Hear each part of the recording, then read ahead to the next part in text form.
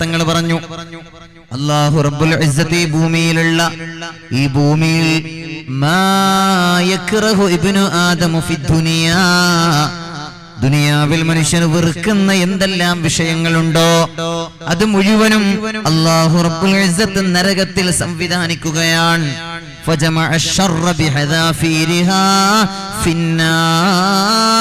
النار ദുനിയാവിൽ മനുഷ്യൻ ഇഷ്ടമില്ലാത്തത് എന്തെല്ലാം ഉണ്ടോ അത് മുഴുവനും അല്ലാഹു നരകത്തിൽ സംവിധാനിച്ചിരിക്കുകയാണ് വനളറ ഇലാ كل شيء യുഹിബ്ബു ഇബ്നു ആദം. മനുഷ്യൻ ഇഷ്ടപ്പെട്ടത് ഉണ്ടോ അത് അല്ലാഹു പരിശോധിക്കുകയാണ്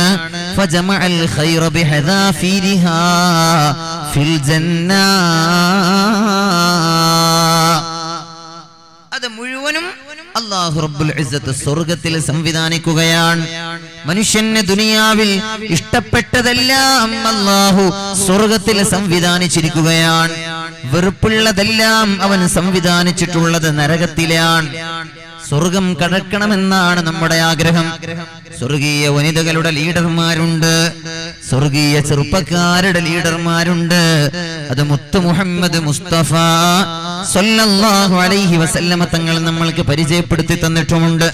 ആരാണ് സ്വർഗീയ വനിതകളുടെ ലീഡർമാർ? ചാപ്പപ്പടിയിൽ എന്റെ വാളുകൾക്ക് കേൾക്കുന്ന പ്രിയം നിറഞ്ഞ സഹോദരിമാരെ നിങ്ങൾ ആ തരുണീമണികളുടെ കൈപിടിച്ച് സ്വർഗം കടക്കാൻ നിങ്ങൾക്ക് സാധ്യമാകണം. നിസാഇ അഹ്ലിൽ ജന്ന. സ്വർഗീയ വനിതകളുടെ ലീഡർമാർ ഫാത്തിമ ബിന്ദു മുഹമ്മദ് ഒന്ന് ഹബീബിന്റെ പുന്നാരമോൾ ഫാത്തിമയാണ്. പുണ്യനബി സല്ലല്ലാഹു അലൈഹി വസല്ലമ തങ്ങൾ പറയാണ് ഒന്ന് എന്റെ പൊന്നുമോൾ ഫാത്തിമയാണ്. അവർ സ്വർഗീയ വനിതകളുടെ ലീഡർമാരിൽ പ്രമുഖയാണ്. ബിന്ത് ഖുവൈലിദിന്റെ മകളായ ഖദീജ ബീവിയാണ്. സ്വർഗീയ വനിതകളുടെ രണ്ടാമത്തെ ലീഡറാണ് അവർ പിന്നെയോ ആസിയ ബിൻത് മുസാഹിം. മുസാഹിമിന്റെ മകളായ ആസിയ ഒന്നുകൂടി വ്യക്തമാക്കി പറഞ്ഞാൽ ഫിർഔനിന്റെ ഭാര്യയായ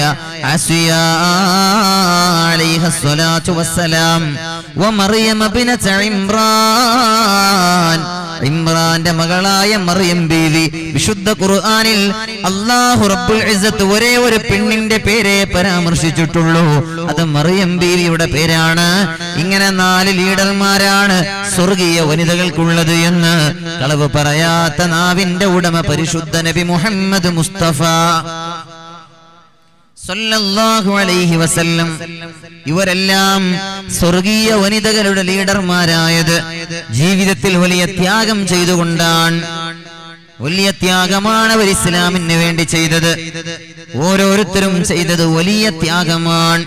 ഫാത്തിമ ബീവിയായാലും ഖദീജയായാലും പ്രിയപ്പെട്ടവരെ ആശയ ബീവിയായാലും മറിയം ബീവിയായാലും ഓരോരുത്തരുടെയും ചരിത്രം നമ്മൾ പരിശോധിച്ചു നോക്കുമ്പോ വ്യക്തമായി നമ്മൾക്കത് ബോധ്യമാകുന്നതാണ്. പ്രിയപ്പെട്ട പുന്നമോൾ ഫാത്തിമ എത്ര ദിവസമാണ് ആ പുന്നമോൾ പട്ടിണി കിടന്നത്? എല്ലാ സൗകര്യങ്ങളും സംവിധാനങ്ങളും അനുഭവിക്കാനുള്ള എല്ലാ യോഗ്യതയുണ്ടായിരുന്നിട്ട് കൂടി അത് നൽകാൻ ആളുകൾ ഇഷ്ടം പോലെ ഉണ്ടായിരുന്നു. എന്നിട്ട് കൂടി അവർ തിരഞ്ഞെടുത്തത് ദാരിദ്ര്യത്തെയാണ്. അവർ തിരഞ്ഞെടുത്തത് പട്ടിണിയെയാണ്. പട്ടിണി കിടന്നു ഒരുപാട് ദിവസം ഒരുപാട് ദിവസത്തെ പട്ടിണിയുടെ കഥ പറയാനുണ്ട്. പൊന്നുമോൾ ഫാത്തിമ